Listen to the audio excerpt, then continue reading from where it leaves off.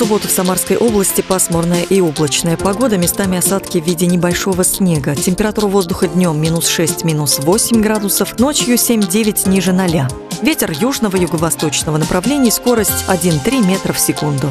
В Сызрани пасмурно и без осадков, днем минус 8 градусов, ночью 9 с минусом. Юго-восточный ветер 3 метра в секунду.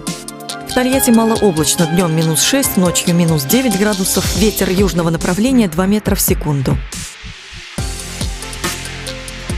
Самаре пасмурно, утром небольшой снег, днем минус 8 градусов, ночью 9 ниже 0.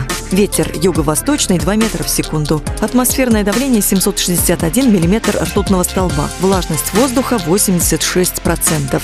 Геомагнитное поле слабо возмущенное.